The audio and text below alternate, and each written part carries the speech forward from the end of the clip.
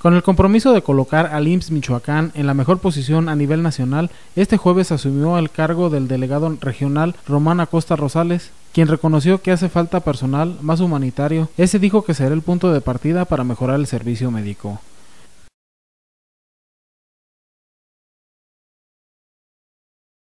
Román Acosta Rosales, médico traumatólogo originario de Tarímbaro, Michoacán, dijo que uno de los objetivos es fortalecer las gestiones con el gobierno federal para garantizar a los derechohabientes un servicio de calidad. El nuevo delegado dijo que su prioridad será ampliar la infraestructura de clínicas y edificios del IMSS en el estado. Insistió en el que eje rector será mantener a los pacientes satisfechos con el servicio y la atención del personal. El delegado saliente Julio César González Jiménez dijo sentirse satisfecho con el trabajo realizado a lo largo de seis años e irse con la cara en alto y las manos limpias.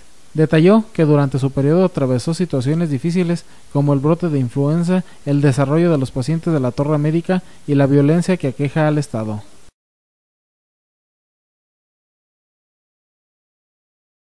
El nuevo delegado felicitó a Julio César González por los logros obtenidos en materia de infraestructura, dijo que continuarán los trabajos para mejorar, fortalecer y aumentar la calidad de los servicios médicos en Michoacán. Con información de Dulce Arriaga, informa Cosar TV.